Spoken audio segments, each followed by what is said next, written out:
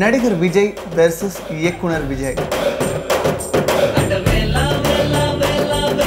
மதராசப்பட்டினம் தெய்வ திருமகள் படங்களோட இயக்குனர் விஜய். இவரோட இயக்கத்தில் அடுத்து நடிகர் விக்ரம் நடிக்க போறாரு படத்தில் அனுஷ்கா ஹீரோயின் சொல்லியிருந்தோம்.